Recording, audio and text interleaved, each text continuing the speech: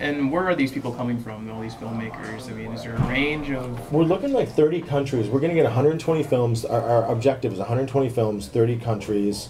Um, downtown Dubuque. Uh, you know, we don't have all the countries listed out yet because, again, we're selecting films that are coming submitted to us from all over. The films that end up, you know, we're not going to pick a country and say, oh, we want to represent this country. We want to represent the best work coming out of that country. So I think the film content will drive what countries end up being shown. And again, not everyone will be able to come here, but part of what's unique about the JIFF Festival is we're looking to offset some of those expenses to make sure that we don't want to have a film here and not have the filmmaker be able to come based on the inability to travel here. Um, so one thing that JIFF and Biff do together as our sister cities and film partnership is being able to bring those filmmakers in because the great thing is as an audience member to see a beautiful film and then to see an actor or talk to one of the directors gives you a more intimate experience and I think that's what we're looking to achieve.